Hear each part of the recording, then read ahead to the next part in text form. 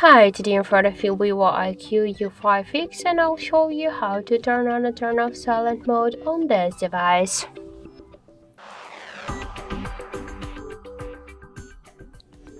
So first open the settings application, then tap to the sound section.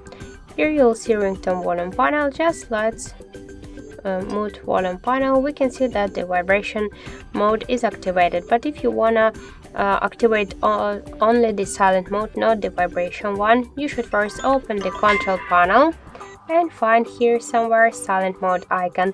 Click on this icon and now we can see that the silent mode is activated. To turn it off, click on the silent mode icon once again and that's it. So also we can make it by the second way, just press up or down volume button, tap to this bell icon twice, now let's switch to the cross bell. This means that the silent mode is activated. To turn it off, click to the cross bell, now let's switch to the normal one. So thank you for watching and if you find this video helpful, leave thumbs up and subscribe our channel.